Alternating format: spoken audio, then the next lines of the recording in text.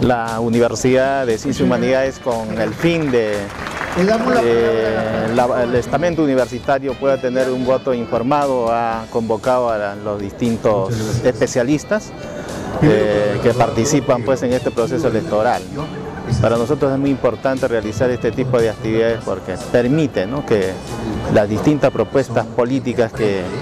eh, hay en el medio puedan, digamos, comunicar eh, la política educativa que ellos van a seguir a nivel de educación básica regular,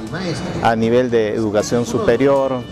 eh, las políticas magisteriales, eh, la gestión y financiamiento que son muy importantes para el desarrollo de educación en el país. Por eso es que eh, vamos a continuar con este tipo de actividades porque más adelante seguramente verán también problemas en el campo económico financiero, seguridad ciudadana y otros aspectos también que son muy importantes que la población universitaria y, y la población de Condo Norte puedan conocer.